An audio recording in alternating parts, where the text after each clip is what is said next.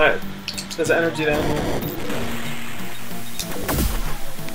Get Now, if you're the head henchman, do you say, look, you're gonna hide behind a wall of ice, and hopefully you're gonna stand here by this life. You're gonna hide behind a wall of ice, and hopefully, uh, at some point in time, there will be someone who we don't like that breaks through it. That's that's when you kill him. that's when you kill him, or you die instantly.